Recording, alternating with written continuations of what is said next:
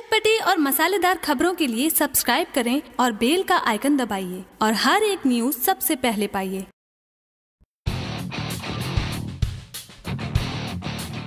भोजपुरी गायकी के सिरमौर और यंगरी यंगमैन पवन सिंह का रुतबा दिन ब दिन भोजपुरिया बॉक्स ऑफ़िस पर बढ़ता ही चला जा रहा है। हर साल पवन सिंह की फ़िल्म भोजपुरिया बॉक्स ऑफ़िस पर सुपर डुपर हिट का डंका बजा रही है और इनकी फ़िल्म बनने से पहले भोजपुरी फ़िल्म इंडस्ट्री में चर्चा का विषय बना हुआ रहता है। इसी कड़ी में पवन सिंह बॉलीवुड के दबंग सलमान खान की फ़िल्म वॉन्टेड को भोजपुरी वर्जन लेके आ रहे हैं। जी हाँ बॉलीवुड की दबंग सलमान खान की फ़िल्म वॉन्टेड बॉलीवुड की सबसे सफल फ़िल्म मानी जाती है। फ़िल्म में बॉक्स ऑफ़िस ऑफ़िस पर एक नया कीर्तिमान रचा था। अब भोजपुरी के सलमान, यानी पवन सिंह, अपनी नई भोजपुरी फ़िल्म वांटेड की तैयारी में जुट चुके हैं। इस फ़िल्म को अगले साल होली के मौके पर रिलीज़ करने की तैयारी की जा रही है। इस फ़िल्म के निर्देशक सुजीत कुमार सिंह के निर्देशन में बनाई जाएगी। इस फ़िल्म के लेखक बीरू ठाकुर है। आपको बता दें की बाकी फ़िल्म की कलाकारों का चयन अभी बाकी है। बहुत जल्द ही कलाकारों का चयन किया जाएगा। आपको बताते चले की धड़कन बिहार और झारखंड के सिनेमा घरों में दूसरे सप्ताह में ज़ोर शोर से चल रहा है। फ़िल्म में पवन सिंह का भोजपुरिया बाहुबली अवतार दर्शकों को बेहद ही ज़्यादा पसंद आ रहा है।